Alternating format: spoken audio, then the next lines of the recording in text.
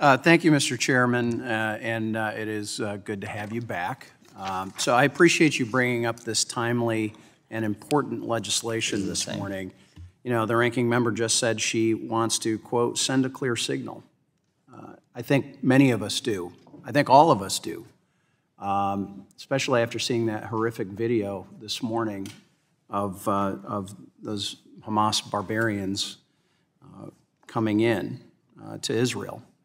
And those Hamas barbarians were financed primarily by Iran. Um, you know, it, it may seem like a direct response to this, that attack, uh, but let me be clear. Um, we've been at this for a while. And sadly, it is the situation that has arisen in, in Israel that, uh, that really has brought this to the forefront. And uh, that is a powerful reminder of the dangers posed by Hamas and others that, uh, that Iran finances. So, in fact, this bill, this concept was first introduced back in the 114th Congress, uh, myself and my colleague, Mr. Sherman, and we even received a bipartisan vote on the House floor. And while the bill has had a few iterations, the goal remains the same. Uh, H.R. 5921 does exactly what it says. It attempts to stop Iran from being able to use our financial system while ensuring that institutions under our committee's jurisdiction keep their distance from the government of Tehran. As we all know, Iran remains one of the most heavily sanctioned countries in the world. However, the Treasury Department retains broad discretion to license activities by U.S. persons. Uh, since many of our blocking sanctions have been imposed, imposed through executive orders, not through law. H.R. Uh, 5921 does three main things. First, it prohibits Treasury from issuing licenses that allow U.S. financial institutions to enable trade with Iran. Now, there's a couple of very uh, uh significant uh, exceptions to that, other than, and I'm quoting from the, from the bill itself, this is in section two, other than the sale of agricultural commodities, food, medicine, medical devices, or humanitarian assistance benefiting the civilian population of Iran, close quote. Uh, the second uh, is that it further cuts off financing for Iran from the world's lender of last resort, the IMF, the International Monetary Fund.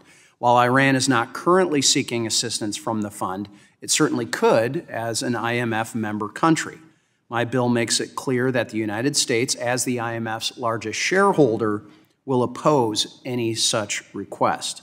This prohibition would further extend to the IMF Special Drawing Rights Program, or SDRs as they're commonly referred to, which Iran actually accessed in 2021 to the tune of $5 billion. Now, Section 3 makes it clear that this is only applies to Iran not other countries, as, as some have asserted. So, just last week, the House adopted a similar prohibition introduced by my colleague from Arkansas, Mr. Hill, as part of the Financial Service and General Government Appropriations debate. And lastly, my bill extends an existing prohibition against export import bank financing for Iran.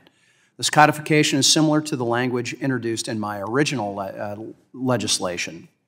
I do want to note one exception that we've included in the bill before us today, and it's an important one. Uh, U.S. law has long exempted humanitarian assistance from sanctions so as not to punish innocent civilians. My bill tightens the grip on the Ayatollahs, on the government itself, but it licenses for humanitarian aid to ordinary Iranians will be continued uh, to be permitted. This is as clear as the day on the text of the bill.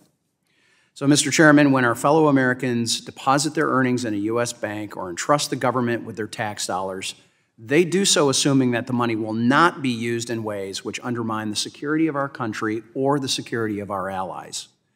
These are common sense but long overdue prohibitions, and we are really taking what some would say is policy and we're codifying it. We're making it the law. And I urge swift passage of the No Financing for Iran Act and uh, I, I yield back the balance of my time.